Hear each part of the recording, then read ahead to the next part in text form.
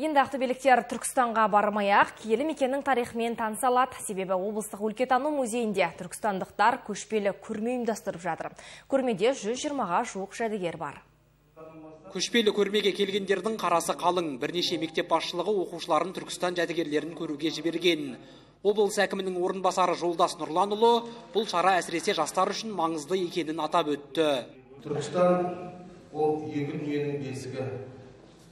Түркістан ер түріктің бесігі деп алаш қайраткері атап кеткендей бізге бүгін тұтас Түркістан көшіп келіп жатыр. Мемлекет басшысы яссауисіз Түркістанды елестету мүмкін емес деген. Міне осы атаумен көшпелі көрме Ақтөбеге ат басын бұрып отыр. Тұтас қазақтың бесігіне айналған осынау киелі мекеннің жәдігерлерін көру бақыты бізге бұйырды.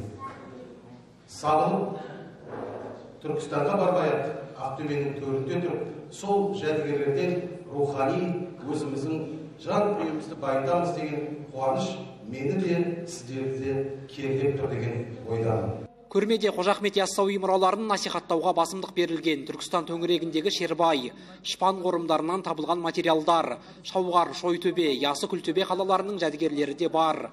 Яссауи кесенесінің ерекше құрылысы, салыну тарихы туралы қызық деректерді де білесіз. Көрмені ұйымдастырушы Әзірет Сұлтан ұлттық тарихи мәдени музей қорығы.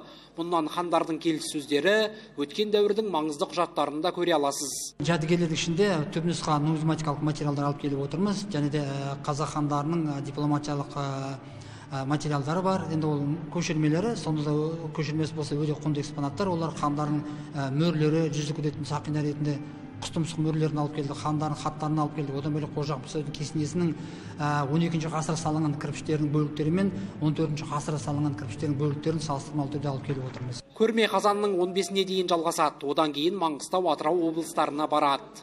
Нұрбол жауынбаев самат қалекенов ақтөбе телеарнасы.